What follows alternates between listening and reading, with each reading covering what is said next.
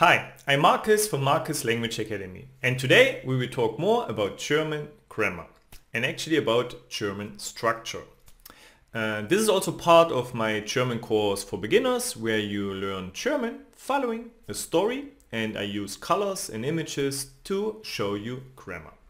So let's see today what is the position actually of accusative and dative in a sentence. Okay? So quite tricky because many students ask me about this and so I made this video to explain it to you right now. Okay, let's see an example. No? Example sentence. Here we have Ich gebe dem Kind den Ball. I give the kid the ball. So let's add some colors to see what's going on here.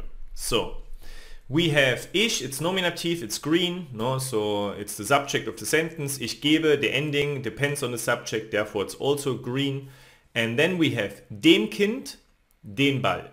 Dem Kind, it's actually dative because uh, it's the indirect object, because I'd call it every time like this, that uh, the kid has the benefit of the action, so it's dative.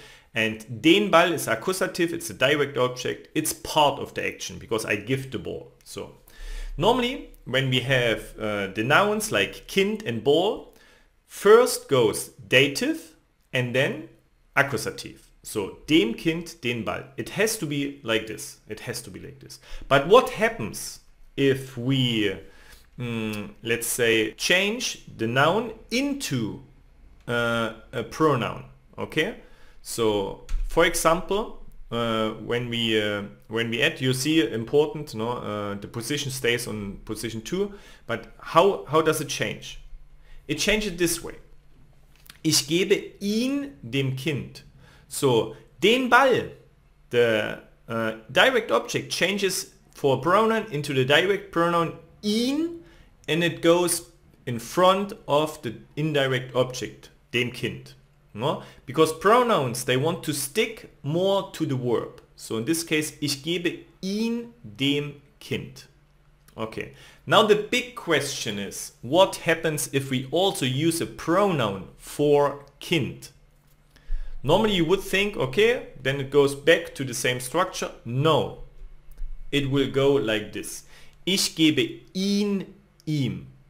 So now when we use for both words pronouns, First, we have accusative and then dative. And that's also a rule. We cannot switch. Okay? We have to say ich gebe ihn ihm. Okay? So remember when we use two pronouns, first accusative. When we have the words, first uh, the dative. And when we have a pronoun, the pronoun always go first. So how do we ask actually for our direct pronoun or for our direct object?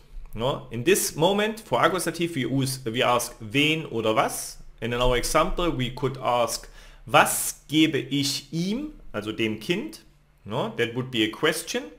And because in my answer it's quite important, I also could put uh, the answer, no, den Ball or ihn in first position.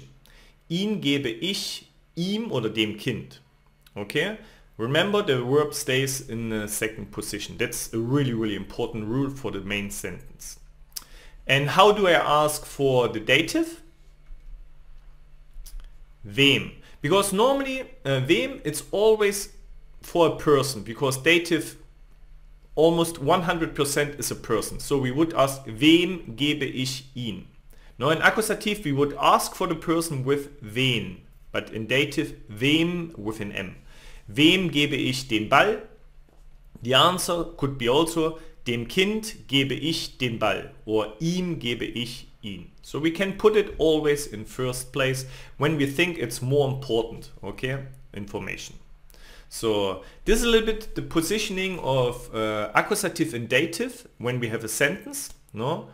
Uh, those are rules, no? So you have to apply it. Obviously, if you um, make mistakes in the positioning, most people would understand, but it wouldn't be correct.